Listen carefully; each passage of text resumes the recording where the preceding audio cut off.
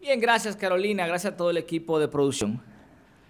Ayer yo hacía referencia a algunos acontecimientos históricos que se han dado, vaga la redundancia, en la historia de la humanidad.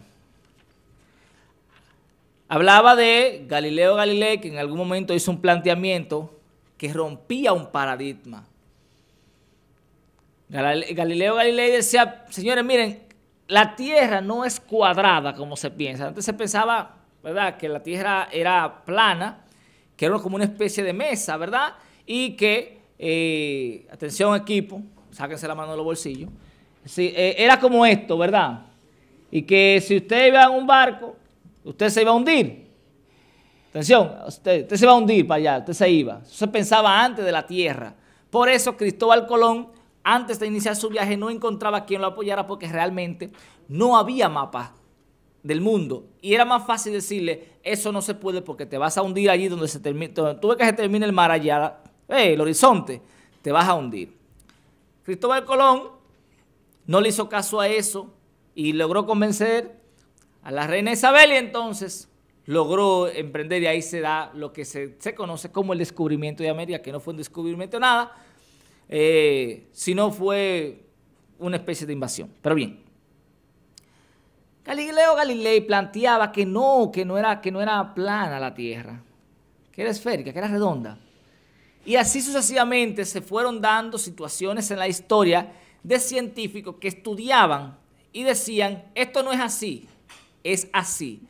Este está, esto no es negro, es rojo realmente. Lo que pasa es que se ve negro por tal razón. Y a esa persona le llamaban loco, algunos lo mataron, otros lo hicieron retractarse, como fue el caso de Galileo Galilei, que, tuvo que retractarse y decir, no, lo que yo dije no es cierto, para poder terminar su tesis. Y luego se demostró. Antes se pensaba que, que el Sol giraba alrededor de la Tierra. Se ha demostrado que no, que es la Tierra, conjuntamente con los demás planetas, que giran alrededor del Sol. Se llama elíptica ese proceso. De ahí las estaciones del año y así sucesivamente. No vamos a entrar en eso. Igual pasó con Louis Pasteur, que en algún momento de la historia dijo, miren a los doctores, ustedes tienen bacterias en las manos y esa bacteria ustedes se la están transmitiendo a los pacientes que ustedes operan y entonces le están provocando infecciones. Le llamaron loco, porque no lo entendían. Y decían, pero ¿cuál es bacteria? Mírame la mano, aquí no hay bacteria. Ah, pero que no es así que se miran es que usted no la puede ver a simple vista. Lo llamaron loco, se burlaron de él y luego él demostró que sí. Y de ahí, y de ahí, entonces, de ahí en adelante, a través de este descubrimiento, se esterilizan todos los utensilios que se van a utilizar en una intervención quirúrgica y los doctores tienen que desinfectarse, higienizarse. ¿Ven ustedes cómo los paradigmas se han roto? Hay entonces situaciones donde la sociedad cree una cosa porque te han implementado una verdad y resulta que es otra. El tema de las tres causales, todavía aquí, todavía eso del aborto, de cómo se ha vendido, eso del derecho a la vida, de cómo se ha vendido, a usted le han, sembrado una verdad que viene dirigida desde el Estado. ¿Cómo se dirige del Estado? ¿Quién lo dirige? La iglesia católica, cristiana, evangélica, como usted quiera llamar, la iglesia, los sectores poderosos, oligarcas, que son los que toman la decisión. Y entonces le dicen al pueblo, esto es la verdad, eso es lo que tú tienes que creer y nada más. Y así ha pasado históricamente. Los países desarrollados, Estados Unidos, Canadá, Suecia, Suiza, Finlandia, el norte de Europa completo desarrollado, van rompiendo los paradigmas. ¿Por qué? Porque sus ciudadanos comienzan a tener acceso a la información. Y al tener acceso a la información comienzan a pensar diferente. Porque para usted poder romper un paradigma tiene que pensar diferente. Tiene que investigar. Tiene que demostrar de manera científica las cosas. Y en la República Dominicana eso tarde o temprano va a llegar. Ahora, escucho al presidente de la República hablando de un referéndum para lo de las tres causales. Lo van a, lo van a llevar a una elección a que la gente vote si está de acuerdo con las tres causales o no. Científicamente está demostrado, y reto a cualquiera que llame y diga lo contrario, que en los países donde el aborto es permitido, hay menos aborto que donde no es permitido. Qué contradicción parecería eso, pero científicamente es así. Porque donde se permite el aborto viene acompañado de una educación sexual, de la prevención, pero se permite el aborto. ¿Se debe permitir el aborto de manera eh, eh, deliberada? ¿Que la gente aborte porque sí? No. Pero cuando existe una necesidad, sí. Por ejemplo, cuando una mujer es violada sexualmente, primero, la persona quien la viola abusó del cuerpo de esa persona, la ultrajó, tiró por el piso su dignidad, derecho fundamental, su integridad física, derecho fundamental, y de ahí en adelante el derecho de ella a decidir sobre su cuerpo. El derecho de ella a decidir sobre su cuerpo. Pero el Estado en la República Dominicana, arcaico, atrasado, y usted luego lo van a ver eso a futuro, cómo va a cambiar, le dice, no, tú tienes que tener el hijo del que te violó. ¿Cómo así? Ajá, y el derecho de ella a elegir, a decir, no, yo no lo quiero porque no fue fruto de mi deseo, porque fue en contra de mi voluntad y además tengo que mantenerlo, porque tampoco el Estado me lo va a mantener. También tengo que mantenerlo. Se convierte eso en una tortura. Y está prohibido por la Constitución la tortura.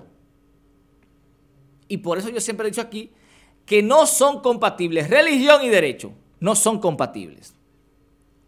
De manera que ahora el tema de las tres causales es un tabú en la República Dominicana por la falta de página para la izquierda que tenemos por la falta de, conocimiento, por la falta de educación, porque aquí vivimos en el oscurantismo. Aquí vivimos como en gran parte de América Latina. ¿Quién me puede mencionar un país de América Latina desarrollado? Eric, ¿tú puedes mencionarme uno? Blacky, ¿tú puedes mencionarme uno? Israel, mencioname un país de América Latina desarrollado. Carolina, ¿conoces alguno? No. ¿Saben por qué? porque lamentablemente América Latina todavía está influenciado por la religión y los países que están influenciados por la religión se quedan en el atraso. Si usted va, por ejemplo, a Noruega, en Noruega la gente cree en todo y en nada. Sí, la gente cree en todo y en nada. Tú te puedes encontrar gente que creen en Satanás, otros que creen en Jehová, otros que creen en Dios, otros que creen en Alá, otros que creen en lo que sea y son desarrollados porque se ha permitido eso. La gente busca el conocimiento. Aquí no, aquí la iglesia católica da una orden y se cumple. Los cristianos dicen, tráeme todo tu dinero aquí al alfolí y hazme rico para yo comprar un penthouse y vivir cómodo con toda mi familia, comprando vestidos caros, yendo a salones caros y yo en buenos vehículos, dándome la mejor vida, yendo a comprar ropa en Miami, yendo a Disney World a disfrutar, yéndome de resort Tú no puedes irte. Tú no puedes irte de resort. Yo sí. Y aquí le creemos. Porque vivimos en el oscurantismo. Porque ni siquiera a veces leen la, la, Biblia, ¿verdad? La que le dice qué hacer, ni siquiera la leen. Ni siquiera la leen. O escucha solamente lo que le dice el pastor de lo que dice la Biblia que... Él te dice lo que dice la Biblia que dice. Entonces, un país así no va a avanzar. Económicamente hemos crecido. Económicamente hemos crecido mucho, lo dijo Canela.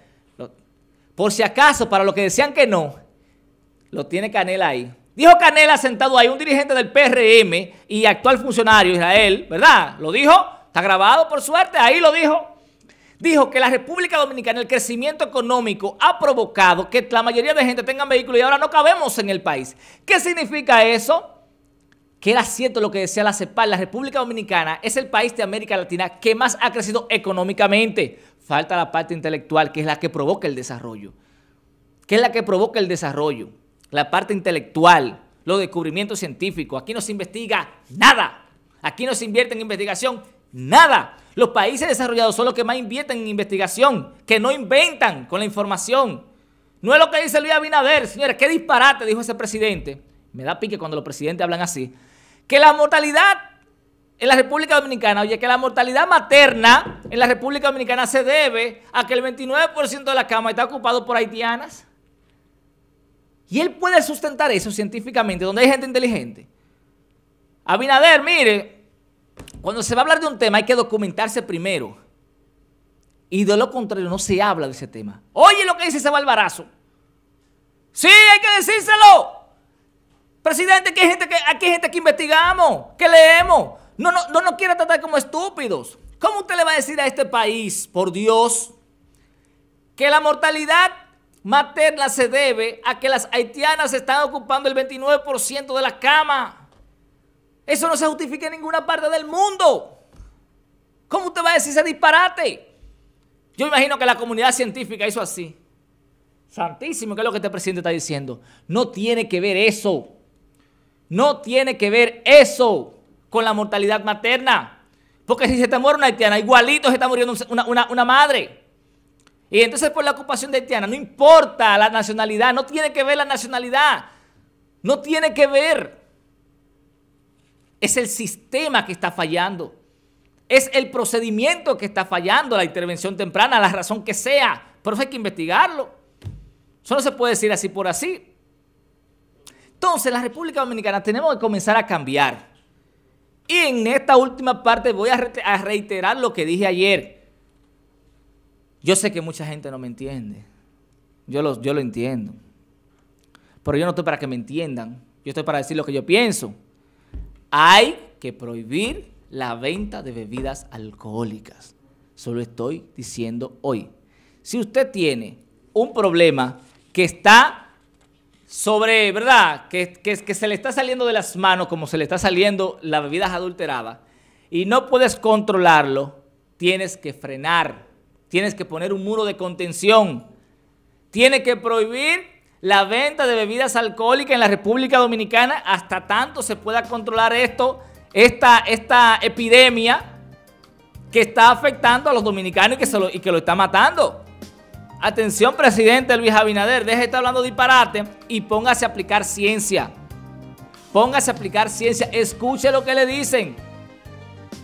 Era impensable, era impensable cuando nosotros lo dijimos aquí, que cerraran los aeropuertos y la frontera. Impensable, nadie en este mundo podía imaginarse que iban a cerrar el mundo. Nadie.